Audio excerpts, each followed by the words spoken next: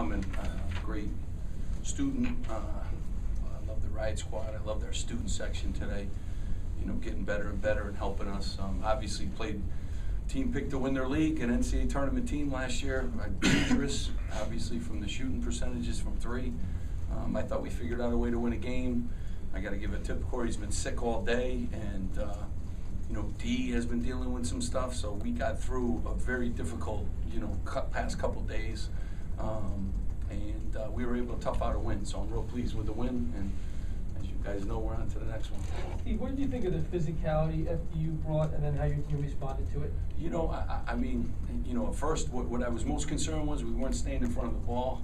Uh, they were very physical, but their shooting ability to shoot from multiple positions is what scared me watching all the tapes. And I knew they were much better than their record, especially with the addition of Potts. Um, they're going to be very good uh, in their conference, as you know. They're picked to win it. So, and and Greg is a really good coach. Much respect for them. So, um, you know, I thought, you know, we stepped it up during that stretch in the second half, and just kind of physically too, rebounded, got the ball where we wanted to. I love 16 assists, eight turnovers, out rebounded them. Uh, as, as our game plan, and then we made some shots in the second half. I thought we got great threes in the first half, didn't make any. We made some in the second half, separated the game. Steve, I know you don't care much about starters, but making the flip between Nigel and Jonathan for this game, what went into that?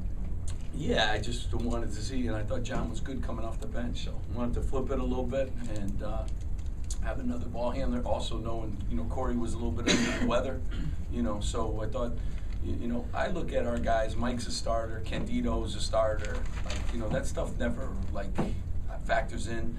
Just thought with Corey being a little under the weather, and maybe John try having him come off the bench and give us a little bit of a spark. And um, you know, Nigel gave us good minutes. A lot of faith in John too. Uh, there'll be games for him, and the matchups I thought were favorable for, for Nigel. John John's seen his role kind of not his role. His performance has kind of slipped down since he had 18 points against Drexel. He played six minutes, I think, against Stony Brook, 10 tonight. Is, has there been something that he has to kind of improve on? To it feels like there's. Yeah, but you know, you guys, this isn't Little League baseball. Everyone doesn't get up to the plate, you know. So I play the best. I'm fair to the rest. And Yeah. so right now, I mean, Mike's been playing great. I mean, Issa's when he shoots the ball brings us a weapon. Um, you know, playing Corey minutes, playing a lot of guys. So you, you know, and, and John will have his turn again. you see Shaq's coming on too. I got to figure out a way to get him some more minutes. So minutes are always a, you know, always an issue. I do a lot, a lot by practice. Practice is important to me. You, you know, and so uh, you hope it sparks a little bit in guys to practice harder and be more prepared. You can see today Candido was g- really good. You know, so uh, I think our team is coming, and we got a lot of weapons, and I trust them all. So I'll, uh, you know, I'll play, I'll play anybody on the roster, and I think that's how I coach. I want my guys ready when, they're called on. Steve, foul shooting a little concern, or is just chalk it up to one of those nights? Well, I mean, it's, uh, shooting in general is a concern, so uh, you can chalk that up to shooting, and uh, foul shooting is, is part of that. Um, You know, we rebounded today, we won the game, we were a little more physical, made some threes, uh, but, uh, you know, we're figuring out ways to win games, and I'm proud of these guys for that. Figuring out ways, each team we've played has presented a different, different challenge, and we've been able to respond and, and and take care of the game. Um, Greg was obviously pretty complimentary. I guess you guys go pretty far back in the coaching circles.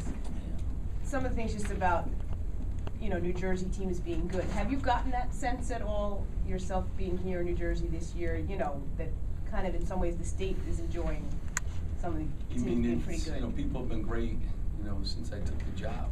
And the high school coaches have been awesome. The U coaches have been good. Um, I think they see we're playing a good brand of basketball. I think guys have improved, uh, in a lot of ways. And, uh, and Greg's one of the great, you know, just a good guy. He's been around basketball for a long time. He's watched a lot of film on us, so I appreciate his, you know, opinions. And, uh, but, uh, yeah, the state, is, you know, the state has been great. and Rutgers,